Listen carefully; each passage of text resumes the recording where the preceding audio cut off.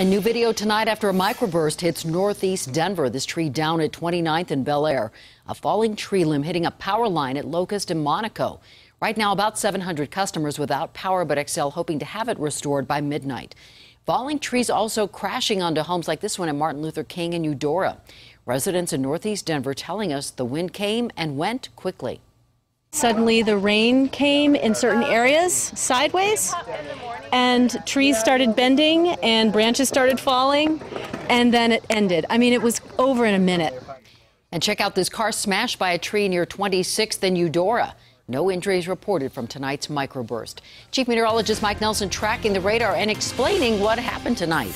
You know, it doesn't look like much when you check it out on a radar. This is a loop from 5 o'clock until 8 o'clock. Watch this area, this little thunderstorm that moved into the metro area.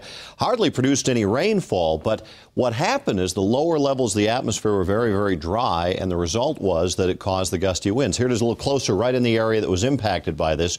And as the storm moved through right here, about 645, we had those outflow winds. It's all clear now, but this is what a microburst does. We had moist air aloft, but dry air near the ground. So when the precipitation fell, it evaporated at the base of the cloud, cooling the air. That cool air is heavy, drops to the ground. You can get 50, even up to 70 mile per hour wind gusts for a very brief time. This is what it looked like coming in. Right in here as that moved into the city. It didn't look like much, but it was because of the drier air near the ground. Boom, it just blew out this quick little burst of wind that caused the damage.